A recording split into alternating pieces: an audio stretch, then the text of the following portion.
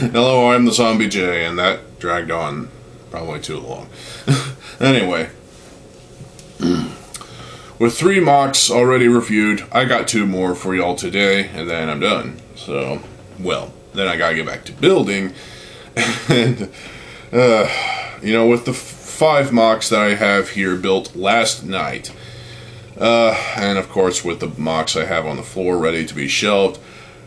I got a lot to put on a shelf, and yet I don't have a shelf to put them on, so they're just standing on the floor over there in front of the other two. Um, but I am getting in a shelf unit to build. Yes, I have to build it. Um, soon. I don't know how soon, but soon. And it'll come in at some point. I will build it, and I have to, you know, do some rearranging and whatnot in order to shelve the MOCs. But yeah, that's gonna take a while. So, um, yeah. But for now, feast your eyes on Alita. Yeah. Actually, this is another. Oh, she doesn't. Have, even though she doesn't have wings. Actually, no. I think she's a completely other um, character. I don't know.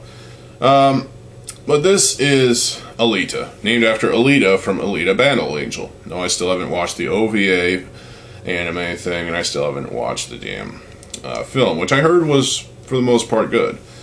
So, um, this is definitely another sort of inspired build. You know, I was inspired by sort of samurai um, things, and I was also inspired by magical girls, which are cool, I think, you know samurais are cool. Magical magical girls are also cool.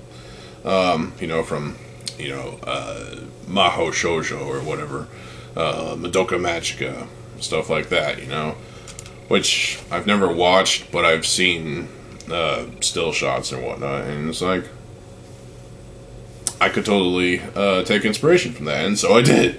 So uh, first, obviously, with uh, uh, Toa Maku, I decided to incorporate some magical girl stuff uh, into that MOC, and well, I did so with this one as well.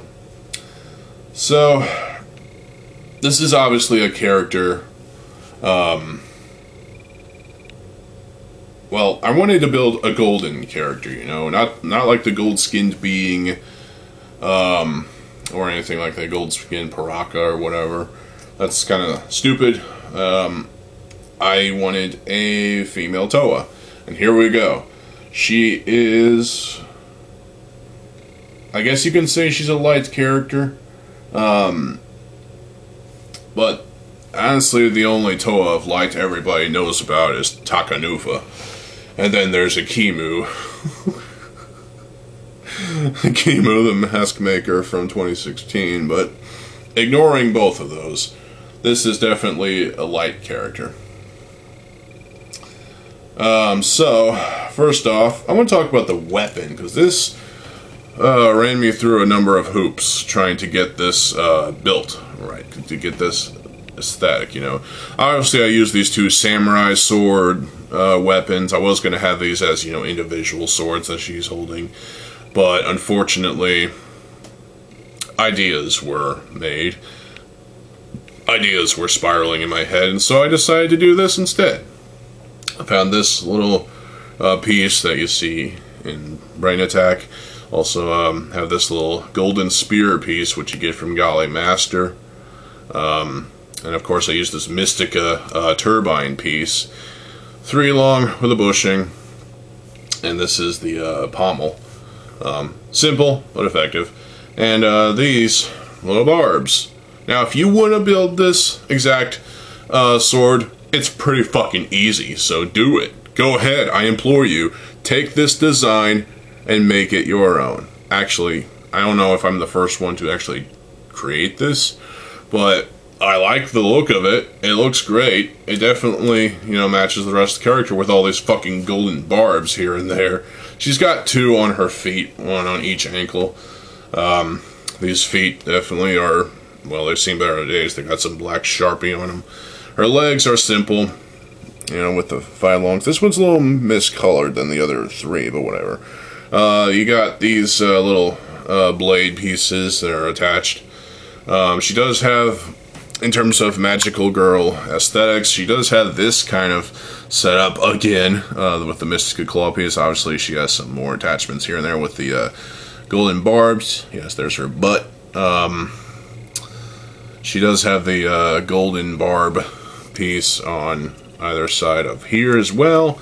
So this is kind of over designed piece, I'd say. I don't know. Um, then this, I felt like that was necessary in order to achieve, you know, the wavy pattern that this is. Um, CCBS four long right there for no reason, because back armor. That's why. Uh, the torso armor is, well, a four long CCBS shell in trans blue.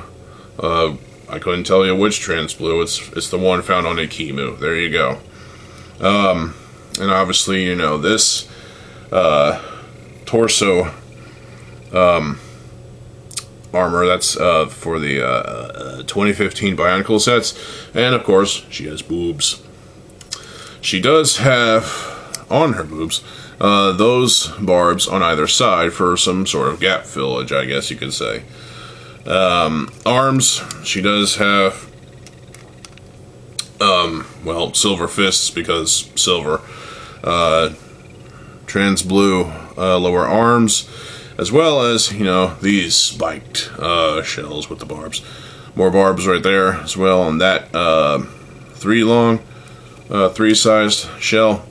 Pauldron piece. Um, as kind of, you know, um, I kind of like the uh, you know the asymmetry of this. And if you thought Epitaph was very asymmet- asymmetrical, look at this. This is asymmetry that is pleasing in my opinion. You know, you got one pauldron right here um, with this silver barb and this silver barb, tiny barb. That's an old one too.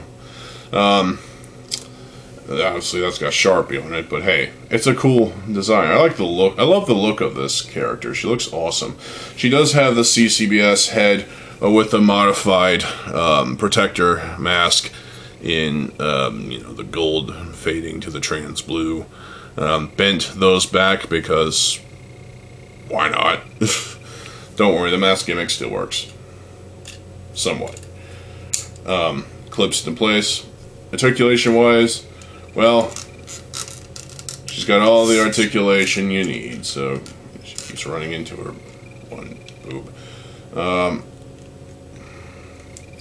So, the articulation is nothing special. She can do all kinds of fun things with her uh, articulation and whatnot. Uh, head moves, obviously. I'm trying to pop off the fucking mask. Um, you can do a high kick, yeah. Um, so get her in some wicked poses if you dare. And, uh, yeah.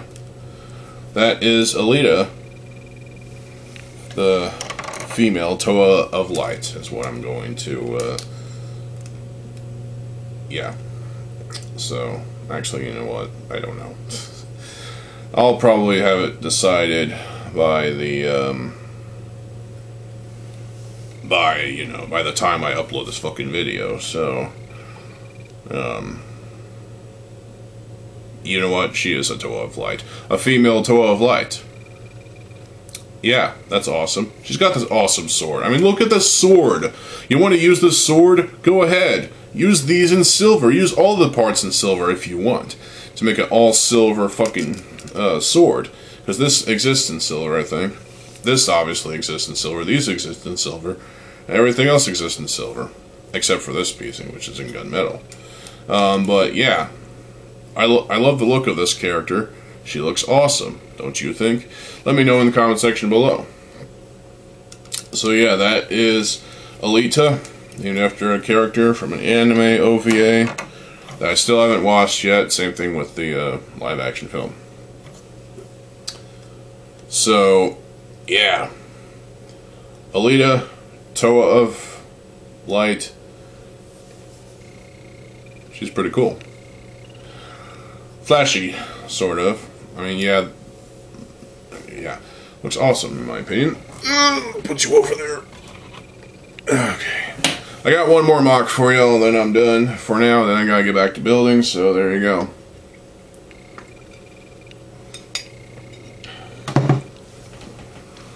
So, thank y'all for watching. Stay tuned for more MOC reviews. I'm the Zombie J. I'll see you folks. Have a good fucking day, and peace.